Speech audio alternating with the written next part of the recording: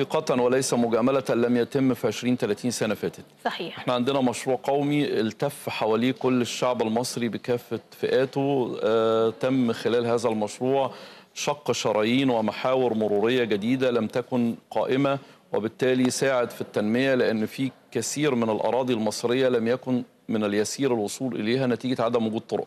وبالتالي أنا النهاردة قدرت أوصل لكيلومترات كثيفة من الأرض المصرية ساعدتني في أن أنا أنشئ مشاريع زي مشاريع استصلاح الأراضي آه، إذا كان في مشاريع إسكان آه، أو مش أو حتى آه، مناطق لإنتاج آه، إنشاء مصانع ومناطق صناعية. آه، كل هذا الكلام كان بجدوى المشروع القومي للطرق والدولة في هذا الصدد بتسير على خطين إنشاء طرق جديدة وصيانة الطرق القديمة لأن صحيح. أنا عندي 48 ألف كيلو من الطرق القائمة.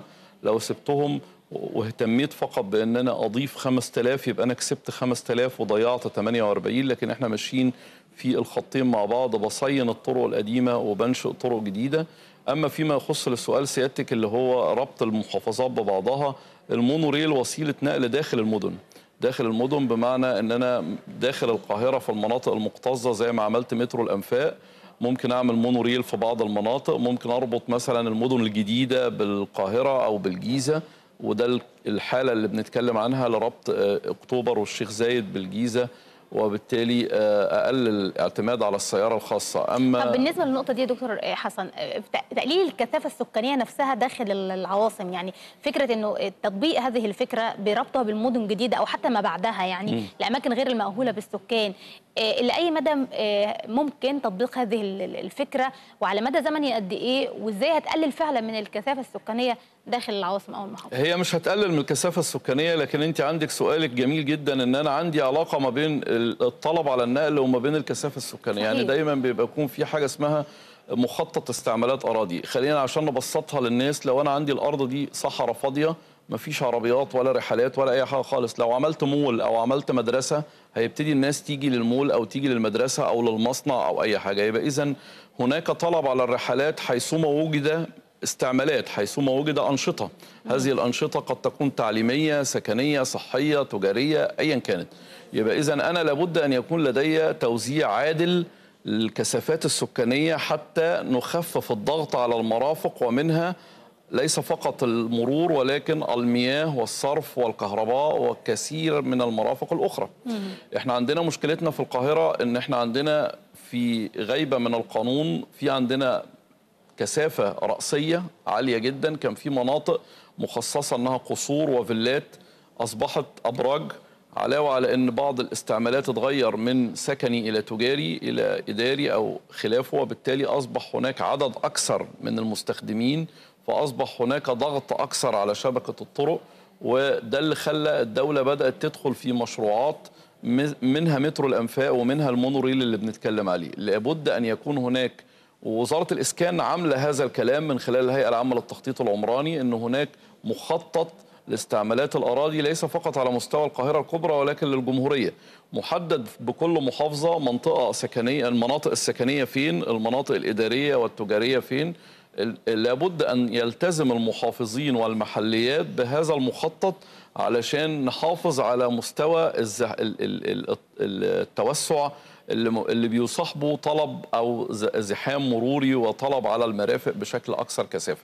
فيما يخص مترو ال- ال- المونوريل، المونوريل داخل المدينة حل جيد لكن ما أقدرش استخدمه في ان أنا اربط مثلا القاهرة ببني سويف أو القاهرة باسكندرية. ده ده, ده قطار ده حل ده, ده ده ده اللي هو ال train العادي اللي هو سواء قطار فائق السرعة قطار آه، يعني آه، الانواع ال- ال- ال- ال- المعروفة من القطارات. اما المونوريل هو وسيلة داخل المدينة وممكن التجربة الثانية تكون في الاسكندرية إن شاء الله مكان قطار أبو قير.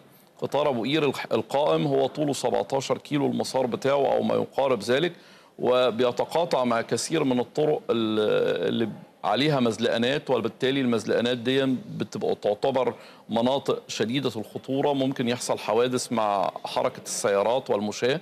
فالمونوريل هو عبارة عن قطار معلق معلق بمعنى إن هو أعلى من الأرض كأنه ماشي على آه، منشأ مرتفع عن سطح الأرض وبالتالي أقدر آه، كتجربة آه، تانية ممكن يكون ده بديل إن شاء الله يبقى طيب. التجربة التانية في اسكندرية. طب إذا تحدثنا أو ربطنا بين مثل هذه المشروعات على وجه الخصوص القطار الكهربائي وفرص عمل للشباب إلى أي مدى من الممكن أن يوفر القطار ده فرص عمل للشباب؟ مش بس داخل القطار أو بالمحطة نفسها لكن آه، كمان بالأماكن آه، المحطات آه، اللي هيكون فيها إنزال للركاب زي مشروعات صغيرة بالنسبة للشباب أو غيرها. طبعا أي مشروع بي- بيتم في الدولة سواء آه، مشروع زي المونوريل خلينا نتكلم عن ال- القطار المعلق تحديدا هيبقى دي من المشروعات كثيفة العمالة.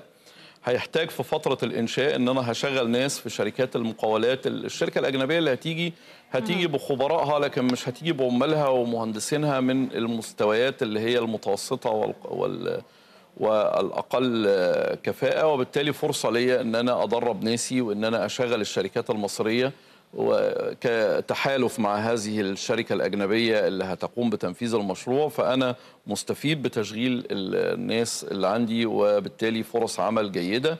في ما بعد انتهاء المشروع سيادتك أشرت لنقطة كويسة إن أنا عندي محطات زي محطات مترو الأنفاق.